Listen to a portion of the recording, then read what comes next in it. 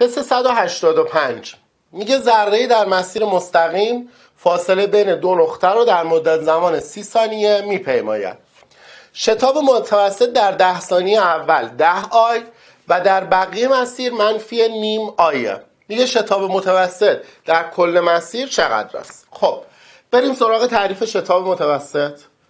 آیا اوریج برابر میشه با دلتا وی به روی دلتا تی برابر است با دلتا وی یک.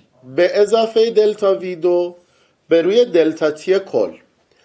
دلتا وی یک برابر میشه با آ یک دلتا تی یک دلتا وی دو آ دو دلتا تی دو به روی دلتا تی کل. حالا باید اعدادمون رو قرار بدیم.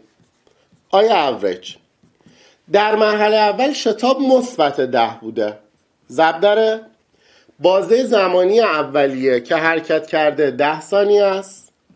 به اضافه شتاب مرحله دوم بوده نیم با علامت منفی. طبیعتا بازه زمانی دوم برابر با 20 و مدت زمان کل ما برابر با سی خواهد بود.